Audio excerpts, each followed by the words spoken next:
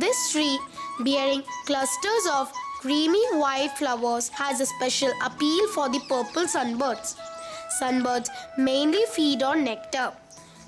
The beaks are downturned with a long tongue so that they can suck the nectar out of the flowers.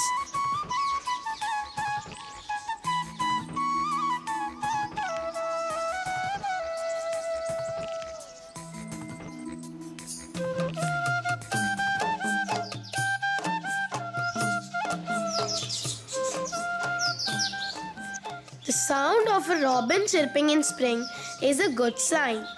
The robin bird traditionally sings in spring to attract a male.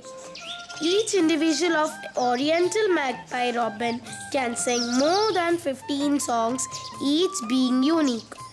Robin singing in the backdrop of yellow flowers is marvelous to watch.